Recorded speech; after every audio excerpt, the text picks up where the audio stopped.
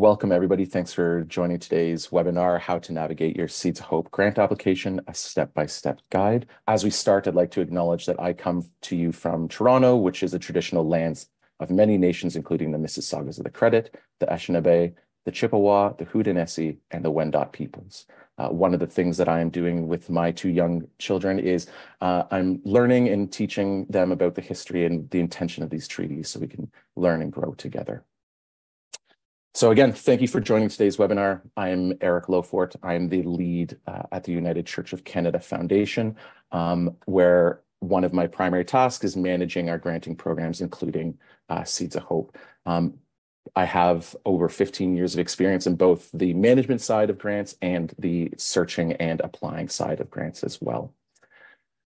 Um, before I share my screen and dive into what we're all here for to see the step-by-step process of the application, I do just kind of want to start off by saying, um, talking a little bit about what Seeds of Hope is, just so everyone's coming from the same spot. So Seeds of Hope is the United Church, one of the United Church of Canada Foundation's granting programs. This granting program is really focused on supplying grants to United Church organizations and partners um, for new and innovative programming that they are undertaking. The granting program has two rounds annually, one in the spring, which we are currently in, and one in the fall. The spring round opens in early January, and the deadline for applications is April 15th, and the fall round will open up in July, and applications uh, will be due October 15th.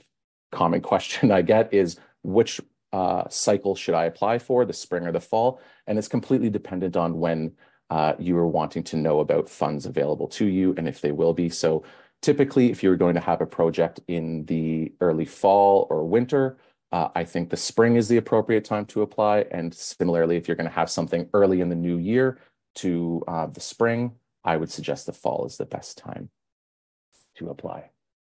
With that being said, I'm going to share my screen now and we will go through the application.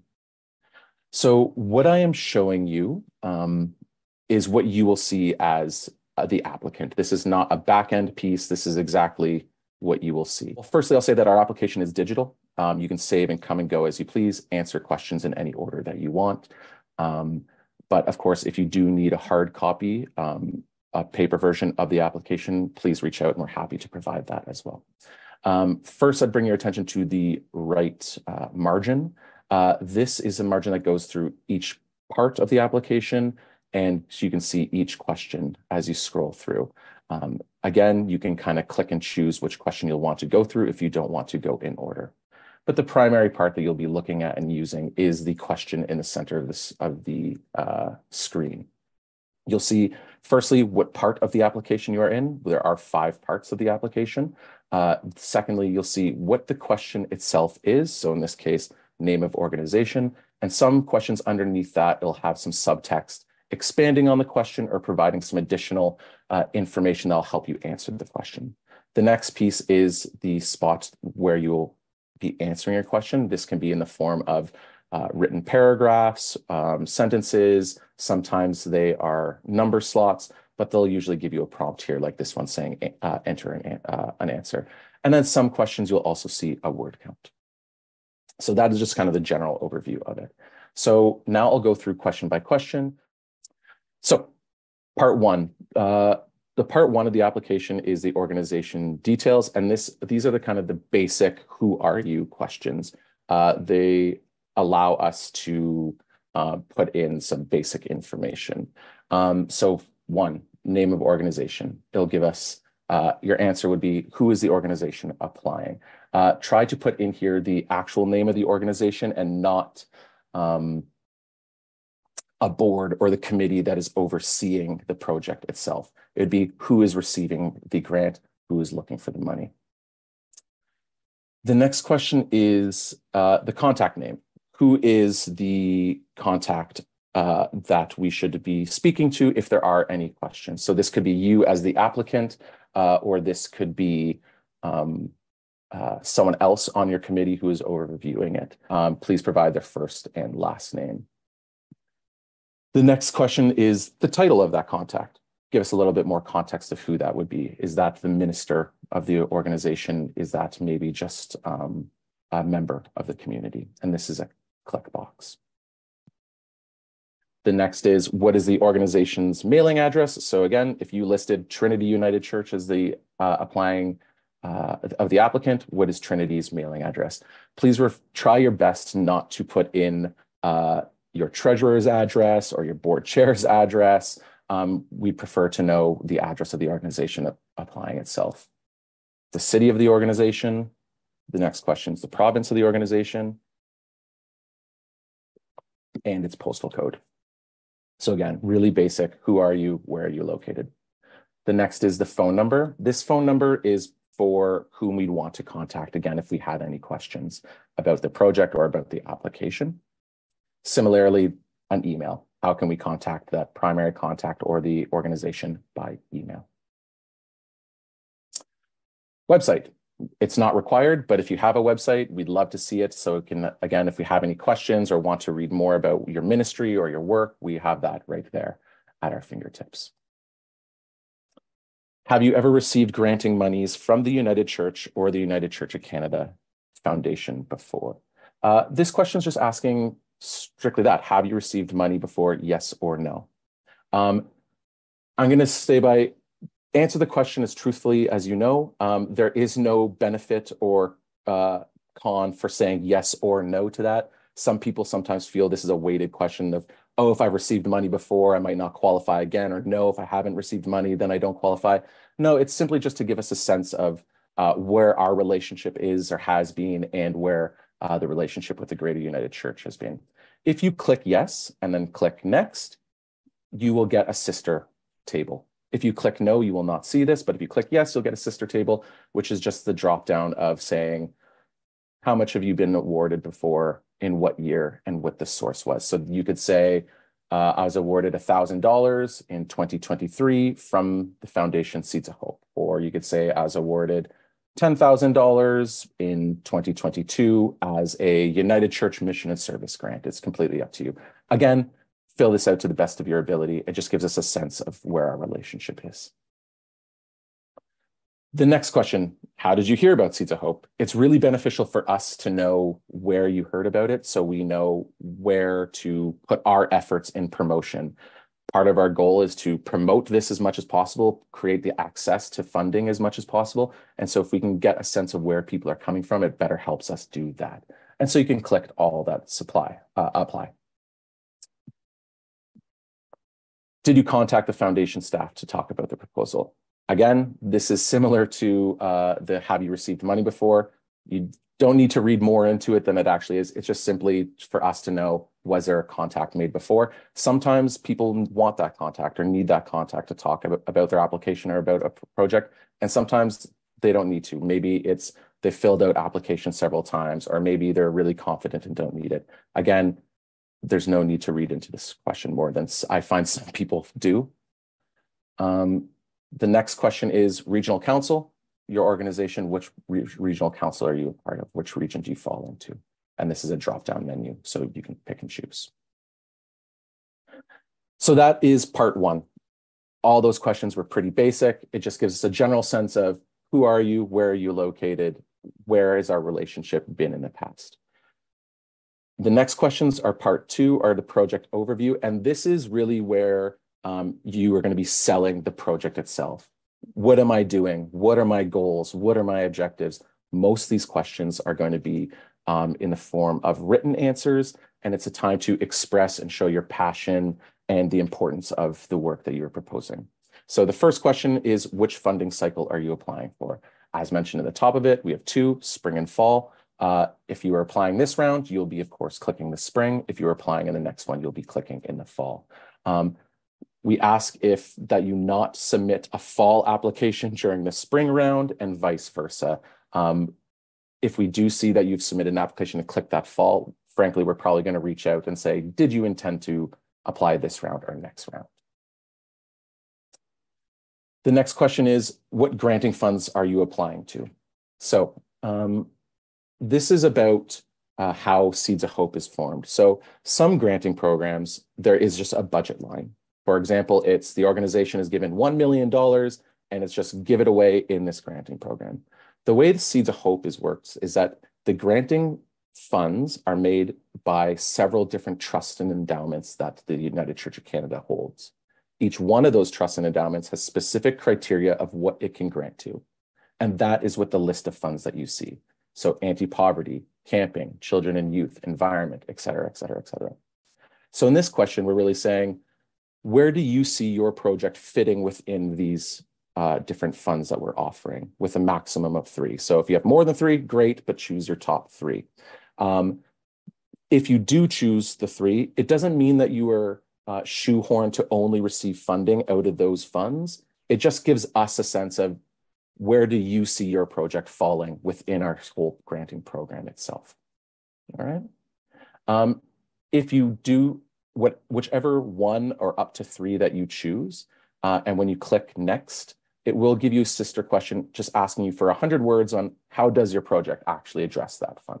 So if you say our project addresses anti-poverty, how does it do that? It says our project addresses the environmental concerns. How is it doing that? So again, you will only see these questions depending on which question you answer prior to that. The next one, project title. Seems simple enough, but sometimes people get tripped on it. What do you call your project? I usually suggest do something that might be obvious for people because it is something that we will use in any publications. So if you were chosen uh, to be awarded a grant, we would say Trinity United Church was awarded a grant for their Peace Garden project. So make sure you choose something uh, appropriate and that works for you because also you probably want to promote the project itself and you want to have a title that people can relate to and understand quickly. Is this a new project? Um, preference for is given to new projects in Seeds of Hope. And I say new is what's new to you, not, not what's new to us.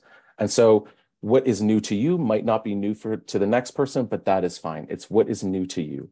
So what I would consider a new project is maybe some a project that has not yet started, uh, a project that has started recently, or a project that maybe you've ran a pilot or a couple pilots of it, and now you're ready to launch it in its full capacity that would be new. What we would, I would not consider new is something that maybe a program you've been running for several years now. Uh, it hasn't gone through a new iteration. And really what you're looking for is just an insertion of funding to this old program. That I would not consider new. That being said, it does not disqualify you from applying for Seeds of Hope. It's just, it's important to note that preference is given to new projects as that is what the basis of, of the program is for. Is your project being carried out in Canada? This is a yes or no question. It's important to note that Seeds of Hope only grants to projects that are being carried out in Canada. So things that we would uh, not accept is one, are you uh, not a Canadian organization? Uh, that would be uh, would not meet our criteria. Two would be if your project was saying, hey, my local church, we have a partner in India that we support annually, and we want some granting monies to send to them so they can do their work sounds great. I'm really happy that your organization has that partnership, but that's not what Seeds of Hope grants to.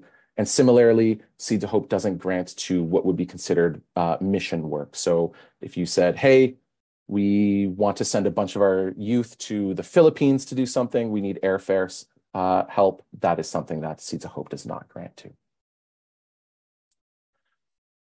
Target, target project implementation date. When is the project starting? This can be current, in the future, in the past, but when did the project that you were proposing start? Or when is it going to start? Completion date. When do you see the project being completed? Some projects that we receive will have firm completion dates. So um, I'm going to use a probably a lot through this, I'll be using a garden project as an example, but a garden project might have a firm start and a firm completion date. Other projects might not have a firm completion date, and that is okay. I would suggest filling out a completion date here along the lines of when you think any Seeds of Hope funding would be exhausted by. So maybe you say, hey, we've applied for $10,000. We think that will be expended throughout the year. So we'll put the completion date uh, for the end of the year, but we'll know from the rest of the application that this is uh, an ongoing or wants to be an ongoing project. Um, it's important to note that um, after grants, we, we ask for reports on how the project went we base that report on the target completion date that you will be submitting to us. So usually it's one month after that completion date, we ask for a report to be submitted. Next, project team members. Uh, so this is who's on the team. I, I see, I will know previously in your questions who's who's applied, what organization, but who makes up the team, who's supporting the project. Uh, you can be specific with giving us specific names that um, Susan Smith is uh, is on our team and they're doing this, and Mark Elliott is on the team and they're doing this. Or you could be more generic. You can say things like, our board will be responsible for doing this role. Our trustees will be responsible for doing this role. It's really up to you based on what your project structure looks like. But it's just nice to see, okay, who else other than the applicant itself is part of this project? Who is overlooking this project? Who is going to make sure it's getting done? The next, describe how your project fits into your organization's identity and ministry. So this is an opportunity for you as an applicant or whomever is the applicant to really say the importance of this project and your organization's ministry. Why is this project uh, imperative to continuing the ministry and the work that you do? Or does it not do that? So for example, to my gardening project, um, I might write something in here uh, if my gardening project has a uh, reconciliation theme to it, um, maybe that is part of it. I'm saying like, as our community of faith is focusing on reconciliation efforts, this peace garden is an important piece to that ministry continuing and offering something to our community. So this again is really sell us how your project is so integral to the ministry of the organization that you are doing and the identity that you are creating in your community. Project description this is as simple as it sounds. It's your elevator pitch. What are you doing? Any reviewer should be able to read your project description and hopefully your title and know exactly what you are doing. We've kept the word count at 75 words uh, because it should be short. Um, that being said, it should still show passion and um, express the need of it, but really say leave out history and leave out goals and objectives. Simply write this is what we're doing and why almost. So um, for example, for my peace garden, you can say something here of in 20 in the summer of 2024, our community of faith is uh, undergoing a peace garden uh, construction program, uh, which will help focus our community of faith in our reconciliation initiatives and also giving uh, needed green space to the at-risk families that don't have that in our urban center that can be the description. Um, I would leave out something like when our building was constructed in 1971, it was all grassed over and we haven't taken over the grass and now we want to build a project. That's nice history, but it's not a description of what you were doing with the project. Try to keep it with what is a project doing uh, and leave it as simple as that. Um, that being said, I will say, put in your passion again, simply just don't write in, we're building a, a garden project. It's wow us with something. But again, most importantly, I should be able to read this or any reviewer should be able to read your description and know exactly what your proposal is and what your project is. Next, project uniqueness. What makes this project unique? Is it different than what things you've done in the past? Is it different from what other groups in your area have done in the past? What makes it unique? What makes it innovative? And again, like the new term, this is what makes it unique and different to you. Um, understanding that everybody has a different sense of that. So keep that in mind. Project goals and objectives. So the next series of questions, 26, 27, 28, and 29, they all relate to the goals and objectives of each one. So they're all, while they're sep four separate questions, they all relate and you can you'll be asked to expand upon each question. So the first one is goals and objectives. Simply list what are the goals and objectives of the project that you're undertaking. Uh, they can be short-term goals, they can be long-term goals, but they should be in this section concrete and well-defined so we have a sense of, okay, this is what they're trying to do with the project. So the project description is that you're doing a peace garden. Your goals and objectives might be engage the community in the use of it. It might be ensure uh, native plant life is included in it. Uh, make sure there's pollination plants in there. What are your goals and objectives? Um, small and big. Where the next question is, what is your plan for stating the goals and objectives? So the question before you said, these are my goals and objectives. And this next question is, what is the plan for achieving that? So uh, for example, you might say, uh, we've, we've partnered up with an indigenous, uh, local indigenous group who knows the native plant life here, who is helping us supply those. Or it might be, um, we're attending community events to engage that community, uh, inviting them to use the garden once it's constructed. What is your plan for achieving those goals? And it's nice as reviewers to see a mirror almost. So if you say, here are my four goals to address them again, one, two, three, four in the next question. The next question is, how are you going to assess whether or not you've achieved your goals? Simple. You've said your goals, you've uh, said what your plan is, and now it's how are you going to assess whether they've been successful or not? And we don't expect that every goal and objective is going to be successful. We value knowing that things work and things don't, and we can learn in both ways. So um, don't only hold yourself to goals and objectives that you think are attainable in some cases. Sometimes it's nice to have those blue sky objectives that you want to hit. And so we understand that they might not be hit, and that's okay. But in this question, how do you assess that? And then the next one is your time, time frame for achieving those goals. So again, depending on what your goals can be, the time frame could be a very like short, like week one of June, um, this is the outcome that we're looking at happening.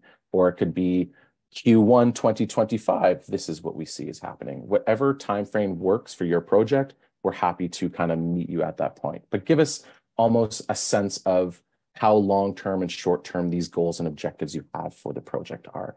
It provides a good context of scope of, again, is this an ongoing project or is this a short-term thing? What is it really they're trying to accomplish? Uh, what is the lasting uh, impact of a project like this? And that really helps when you kind of organize goals and objectives in this way, and it's certainly by providing a timeline. Next question is project beneficiaries. So this is who's benefiting from the project. Uh, is this your community of faith only? Is this the wider community? Is this the bigger church as a whole? Um, is this a specific subsect of your community? Um, I like to think when when I think of projects and programs, I like to think of all scales. So it's nice to say, this is directly who is impacted in my community. This is the beneficiaries in my regional area geographically. And then nationwide, this is what I think the impact can be. Um, so that's an easy way of me of wrapping my head around tackling a question like this is breaking it down into different areas. But of course, you have to do what makes sense for your project. The next question is, what steps have you taken to work with and communicate with those beneficiaries? So if you've listed that um, our Peace Garden is going to positively impact the at-risk community around me, what steps have you taken to engage them? Have they asked for this? Have they not asked for this? I think this is an undervalued part of any project, uh, is talking to who you believe the beneficiaries to be, because rather than us creating a program saying, oh, you know who's really going to love it is this group. And then when you, after you spend all the money and all the time and going through this project, you talk to that group and they're like, oh, that's great, but what we really needed was X, or uh, we don't really feel comfortable with that, what you've done. So how have you engaged in them uh, and what steps have you taken? The next is, does your project address any of the United Church of Canada's four priorities? So similarly to the, what funds do you see your project falling into? This is what priorities do you see them falling into? So in 2022, the foundation named four uh, main pillars and priorities. That is anti-racism work, reconciliation with Indigenous peoples, climate justice, and supporting of communities of faith. So does the project that you are proposing address any of those pillars? Similarly to the other one, when you click on one of them and choose next, it will ask you to expl explain how your project is actually addressing that project, that uh, priority piece. And you rate that there. Examples of demonstrated support. So this is just a simple list of who your partners are or what the community involvement is. Further down, I believe at the end of part four, there is a section where you can attach things like letters of support or supporting documentation. Maybe you list them here.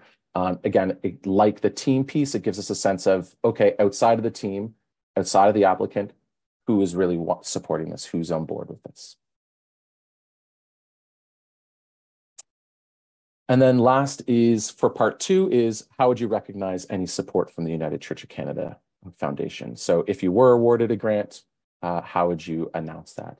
Uh, this question is not about a vanity piece from the foundation. This is really about um, the granting funds that are awarded through Seeds of Hope are United Church donors who have entrusted us with these funds to grant out in support of you. So it's really great for them to see the recognition of their support. And, and in turn, it showing support inspires other groups to see what's available and try something new themselves. And so this question is simply saying, how would you do that? How would you, how would you show that support, recognize that support, um, to inspire others and the donors that have generously given to make the project a success. So that is part two. So again, part one, that nitty gritty, who are you? Part two is the, what is your project trying to do? Uh, how are you doing it? And now part three is the financial aspect of it. How are you going to pay for the project itself? So question one, for Seeds of, from Seeds of Hope? How much are you asking from the United Church of Canada Foundation? Please note that Seeds of Hope can only grant up to 50% of your total cost. So if you say, hey, my garden project's going to cost $50,000, the maximum you could ask from Seeds of Hope is $25,000. Uh, I ask in this question that you do write a number. Um, refrain from typing something in here like whatever you can afford or whatever you want to give. While that's a nice sentiment, that's not doing your project any favors. What do you need to get it off the ground? That is really what the question is saying. The next table uh, and the following pieces, similarly to the goals and objectives, the next pieces are all intertwined with each other. So the first one is the project revenues. This table is really saying, how much is your project going to cost and where is that money coming from? So we have project revenues, the amount, if that money is confirmed, and when that money can be uh, confirmed. So project revenues. We've listed what we think are good catch-alls for you. So what money is being contributed from the organization? What is being contributed from other United Church of Canada support? Are there any other grants that you've applied for? Is there fundraising that you're doing? Uh, is there funding from partners? And then you would write in the last column how much, again, you want from Seeds of Hope. Please ensure that this number matches the number from the previous question uh, because it's important when you're kind of doing it. If you're saying I'm asking for 25,000 in question uh, 35 and then in question 36, you're saying I actually need $10,000, what, what do you want? So I'll give you an example how to fill this out. Organizational funds. You might say, hey, you know what? My community of faith is giving us $1,000. So you'll put 1,000 here. Yep, they've already given it to us. So you click yes and then you'll enter when you got that. If you say, you know what, we don't have any other United Church of Canada support, you leave that all blank. Uh, other grants, you can say, yeah, we actually have $30,000 of other grants out there.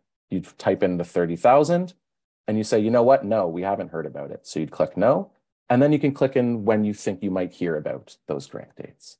So, and then you would do that for each column. If you don't have it, you just leave it blank. If it's there, you add it.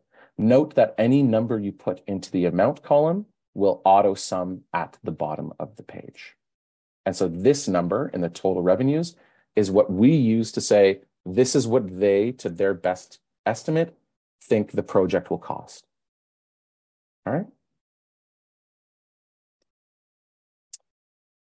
The next piece is revenue sources. So the question before, you told us kind of financially, we have $1,000 here, we are getting $2,000 from there, $20,000 from there, and now we're asking for you to tell us who they are. So in the first one, I think in the example in the chart, we said uh, the community of faith was giving $10,000. So here you'd say, this is coming from Trinity United Church, our operating budget. Or you can say it's coming from uh, a generous endowment that the our community of faith had uh, specifically for this project.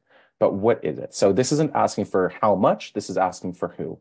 Similarly to if you said, we said in the other grants, we said in the previous table, yep, we have some other grant feelers out there. No, we don't have the money yet, but this is who they're from. So you might write in here, we have a $5,000 request from Trillium Foundation, and we might have uh, a $5,000 request from the Toronto Community Foundation. Just who else do you have grant feelers out with? Same with other fundraising and funding for partners. So again, this table is asking to expand on the last table. The last table was saying, what are the dollar figures? This is asking for more specific details of who those dollar figures are coming from.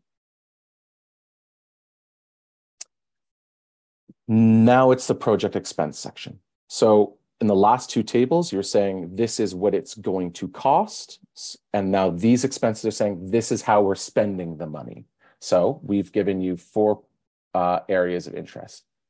Project staff, project materials, publicity, and other. So in this, you would write down what you think in your best estimate is going to cost to staff the project. What do you think is going to cost to actually, uh, and materials and supplies? Are we doing advertising? What is it going to cost? Other is everything else.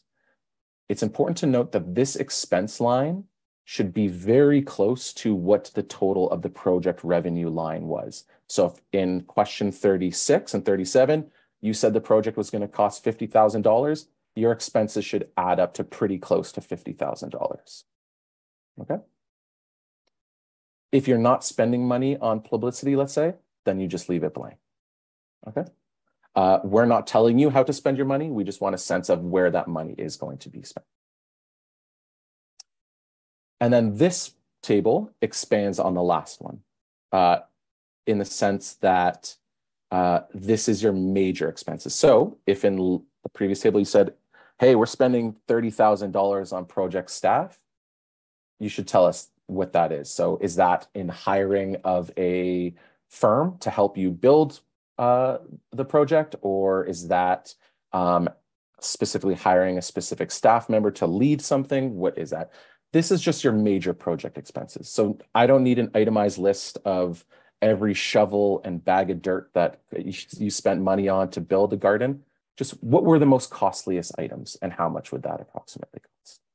Again, with the revenues and financial areas, um, it's your best estimate at the time of submission. And we completely understand that things fluctuate as time go on, especially in new and innovative projects, things happen. And so it's really best on your best estimate at the time and with your experience with setting up the project itself. Focused for applied funding. This section is saying how, if you were awarded funding, how would you use the foundation money? So uh, in my example, if you saying we're asking for $25,000 from Seeds of Hope, where would that $25,000 go? So you could say we're using it on staff or we're using on publicity or we're using it on both. But it just gives us a sense of how are you spending the money that uh, has been awarded from the foundation. Proposed plan revisions if funding is unavailable. So this is, tell us what happens if you don't get this grant. Uh, what happens to your project if for whatever reason you were unsuccess, unsuccessful with your application. Here, I really stress to not write the project won't happen without your funding. Um, I know it's maybe potentially true. Uh, sometimes I feel that people write that because it shows urgency. If you say the project won't happen without your help, it feels we're saying we must help it no matter what. But in turn, it can also be seen as this project isn't important enough for you to think of secondary uh, funding or what happens next. Um, or um, that uh, you really haven't thought about the sustainability of the project and what happens. And so here I really stress rather than saying um, the project won't happen, maybe it's something like we'll have to scale back on certain elements of the project, or we'll have to push our timelines from this summer to next summer um, whatever that may be. But I really think it's important to say what that might be. And it's almost a disservice to say it won't happen uh, without any help. Um, because I think push comes to shove, if you think about it, it still can happen just differently than originally thought. And then this next part is, um, and again, any supporting documentation that you might have. This could be uh, letters of support from community members. This could be uh, partnership agreements. This could be drawings, Uh, it could be a video. Maybe you ran a pilot and you have a video on how that went and you're asking for funding to launch into the next stage. Really, it's up to you. It's up to five things. I think if you're going to do letters of support, try to get those letters of support to show the full breadth of your project, not just five letters from members of your community of faith saying how great the project is. Try to get some from maybe in your members and some from your exterior uh, outside community, some from your partnership, if that's the way you're going. Really use these to the best of your ability to paint a broader picture of it. These are, of course, optional. They are not needed in any submission. All right, now we're closing to the end of the application. This is part four. So part four is um, the approval section of it. So uh, this is saying, yep, I understand what was written above and we agree to it. And this would be who agrees to it. So who is the applica application been approved by? You can click who it goes to. Who is the signing officer of the application? So this should be if someone of leadership position of your organization or the project saying, yes, I understand that everything written above is accurate to the best of our ability, and that if anything happens, I am the signing officer and sign off on everything and can be contacted if something happens. So um, that would be this person. Next, what is the title of that individual? What date was this approved? Was the application approved on? So um, this is simply, yep, the signing authority or the signing group says, yeah, we reviewed this application on this date. Name of the organization, because sometimes the organization who's approving the document might be different than uh, the applying organization. So sometimes, for example, this could be um, a non-registered charity is applying and they're getting their region to sign off on the authority. So that would be here. But if it is the same organization, that is okay to repeat the question as well, saying for both the applicant and the signing authority. What is that charitable registration number of the uh, signing authority? Uh, if you don't have one, uh, let us know. And if you can't find it, we're also help, happy to help you find that. Again, mailing address for the signing authority, city, province, postal code. Uh, and then this last part is about electronic payments. Uh, as much as possible, we are trying to send out all our grants electronically. It allows us to A, print less uh, for the environmental impact. It also allows us not to wait on Canada Post and have anything lost in the mail potentially. Um, so for this, it's uh, a simple, yes, we've been set up. No, we still like to prefer to have checks. Uh, no, we're not set up, but we would like to set up or unsure. If it's any of the bottom two, uh, it will prompt you with the next question to either fill out a form or contact us accordingly. And then part five, which is the last part, this is the declaration of intent. And this is essentially just the agreement saying everything is correct. We agree to use the funds as stated. Uh, we agree to provide a report to you. Um, if we can't use the funds as stated, we will contact you and go with next steps, et cetera, et cetera. Once you click yes and agree and next, you will type the, uh, the name of the person the date of agreeing, and then finally it's to your submit screen and you can submit. Alternatively, you can submit it down in the bottom right-hand corner when you wish. Uh, and of course, you can, as mentioned at the top, you can save and quit as you go along. So that's the application. Before I jump into the Q&As, I do want to leave uh, you with a few just kind of tips that you can either use for the Seeds of Hope applications or for any general uh, applications that you might be doing. One is I want really want to stress the importance of proofreading. That is both you as a grant writer proofreading what you've written, but also where possible, getting an outside source to proofread your application itself. I find a lot of the time as an applicant, you might be really tied very closely with the project that you were submitting an application for and either omit information in, unintentionally or use abbreviations that people don't know. And so when you get a third party to review it, they're the ones who will catch things like saying, hey, you keep using this abbreviation, but you actually never say what that is. Or, oh, you mention uh, this piece over here, but you never actually talk about it ever again. So can you expand on that? So proofread, proofread, proofread, and where possible, get someone who is uh, unfamiliar with the project uh, as closely as you might be to proofread it as well. The next one is answer the questions that are being asked. it's really easy, especially in written parts of the question, to start writing and then you figure out, oh, I didn't actually answer the question.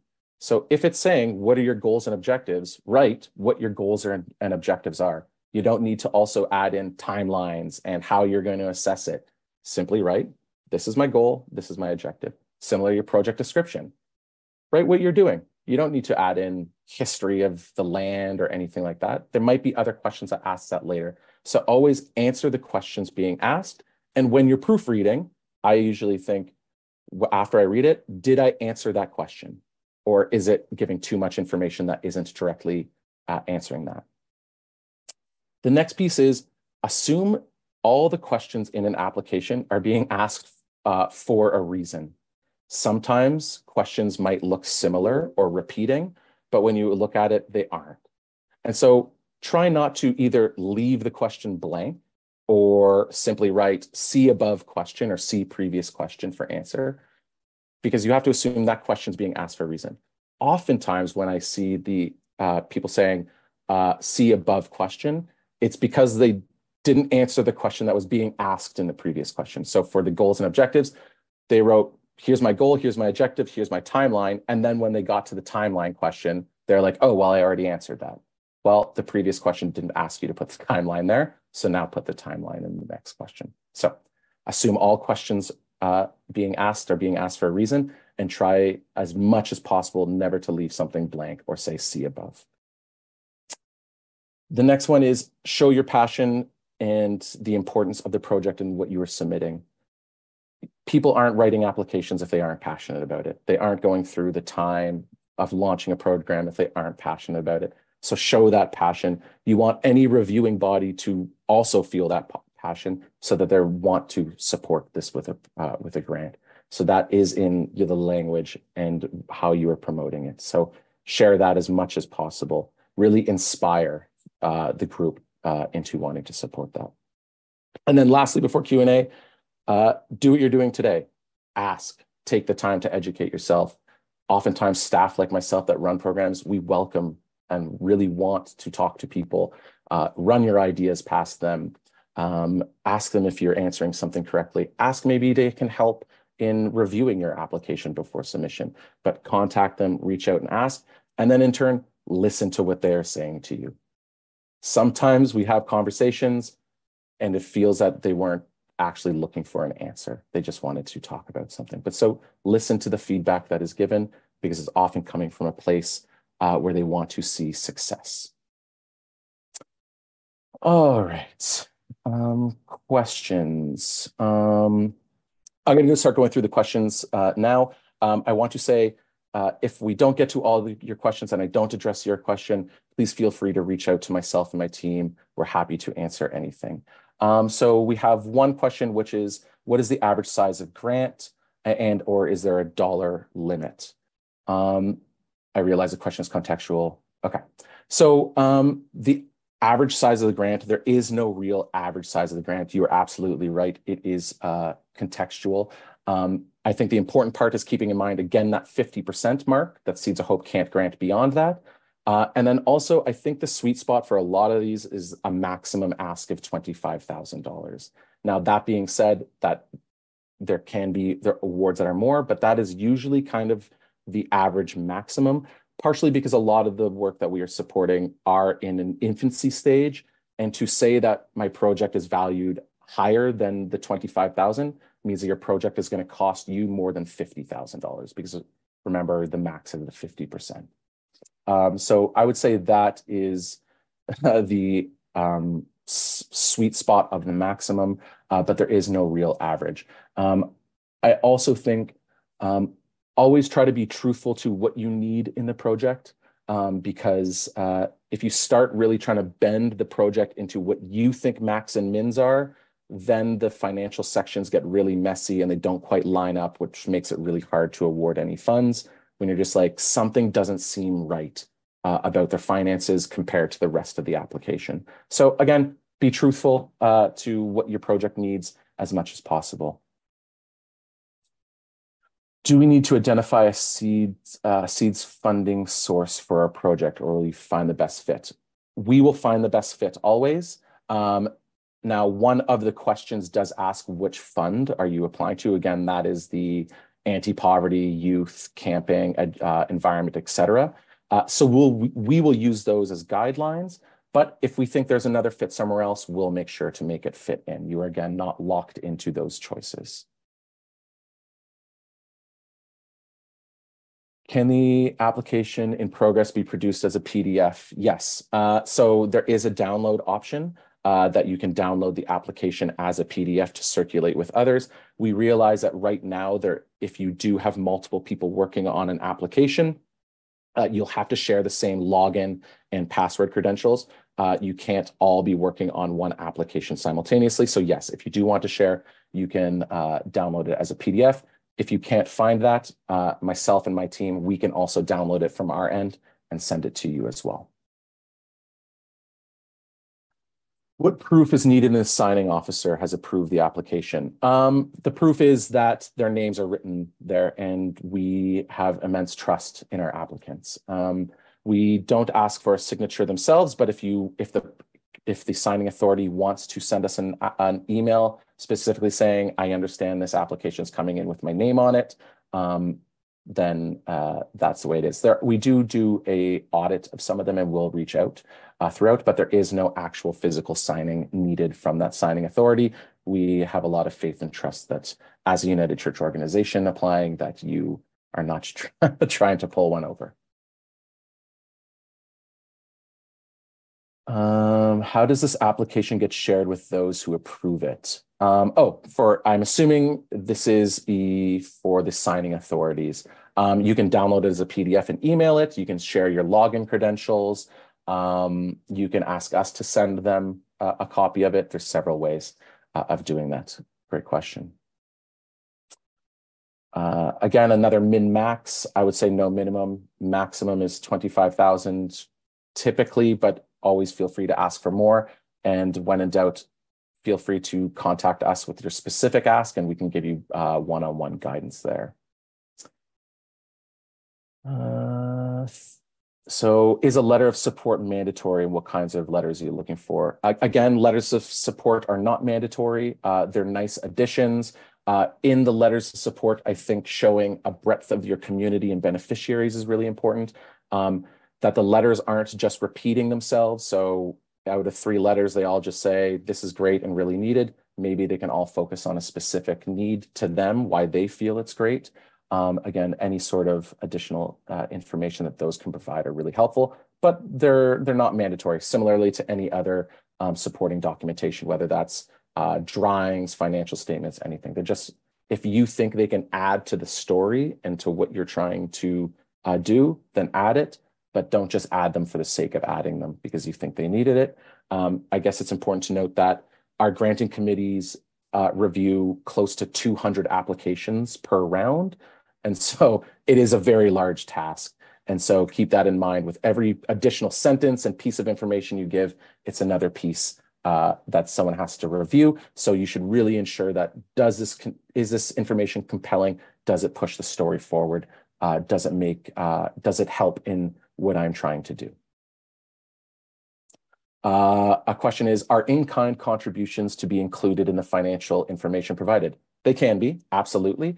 Um, I think they can, I think they are best um, included in the financial pieces when they make sense to the project, but I would steer away from it if it's almost artificially bloating your financial information. For example, if someone is saying giving uh, a local caterer is giving you in kind tables and chairs and cups and saucers whatever or food and it's a total of an in-kind gift of a thousand dollars absolutely or like 5000 whatever include that as a financial contribution. If you're saying our church is letting us use the space and if we wanted to rent this space it costs us $30000 a month so our project is now a multi-million dollar project over several years I might not include that uh, because it really bloats out your financial figures and makes it almost um, seem like an unattainable project, just like what's happening here. So yes, absolutely uh, keep in kind uh, contributions. They can count as financials, but make sure that it doesn't really skew any numbers to make them look um, fraudulent. Um,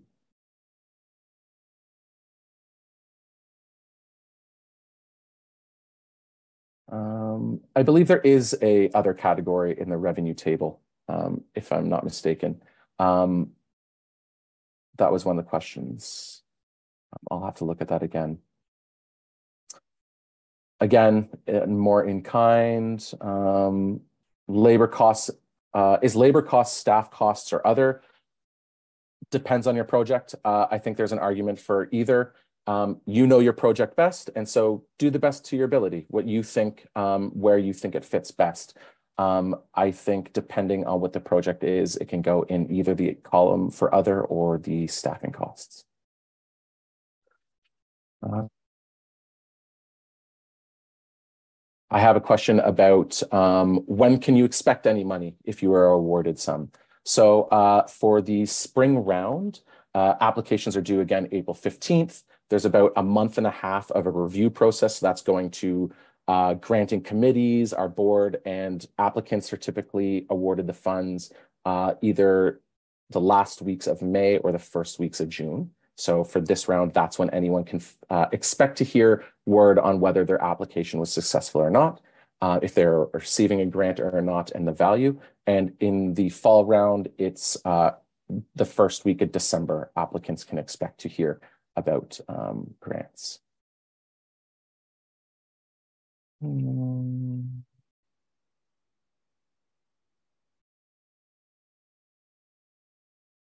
Yes. So again, uh, the um, question 35 asking how much you're asking for Seeds of Hope. That is 50% of the total cost of the project. Um,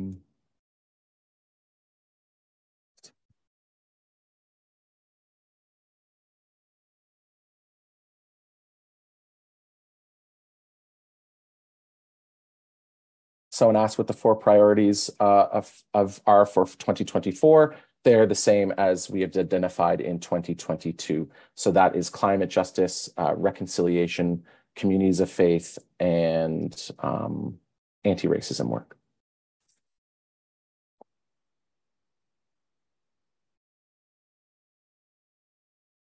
So there's a question, if our goal is part of a larger project, but is a standalone section completed in a very short term, has independent benefits within the larger term project, uh, what do we describe big or small is what I assume. So this happens often. Sometimes applications that we get are saying, we need support in funding of this very specific piece of a larger picture. If you're approaching it that way, in part two, where you're describing your project, it's important to explain this is the piece that we're working on, but it's a part of a big project. But then when you get to the revenue section and expenses section, you're only doing it for that small piece. So if you were explaining the project description and everything as a small piece of the pie, only put the revenues and expenses and asks for that small piece. If you're going out in the large in scope, then make sure everything aligns with that large uh, scope project. And let me see, I think we have time for um, one or two more questions. So someone asked about children and youth. What is the age bracket for youth? Uh, completely up to you. Um, I the definitions are pretty loose and people have different um, opinions. Uh, I think youth and can very well be from a young age to early 20s, frankly. I think if you were stretching saying uh, we want a youth program that is targeting 65 plus, we might uh, disagree there. But of course, uh, youth is loose. And also in the second part of life as well, if you're talking about seniors, what does seniors mean to you? What is that age group to, to you? For example, there's a lot of research that say uh, individuals that are at risk or below the poverty line or struggle with disabilities, senior the seniors bracket hits them sooner. And so what is that really happening? So that's completely up to you how you define it. Um, again, I think as long as you can justify it and it makes sense. And then the last question I'll say is, uh, someone asked about question 22. This is the team uh, members one. What happens if you have more members on your project team than numbers of lines given? Just supply us with the lines given. Choose the most important ones that you feel will give us a good scope. We fully understand that these project teams can be very large. So again, maybe choose the leadership or maybe uh, choose to give us, uh, in my example, rather than individual names, kind of clump people into teams of what they're doing. Um, sorry to everyone else that I couldn't get to your questions. If I didn't answer your questions or after this you uh, have questions that crop up, please feel free to email, phone, uh, myself or anyone on the team, and we're happy to discuss this. Um, as a reminder, applications for this spring round is April 15th, and I want to thank everyone for joining us today and enjoy the rest of your day. Thank you.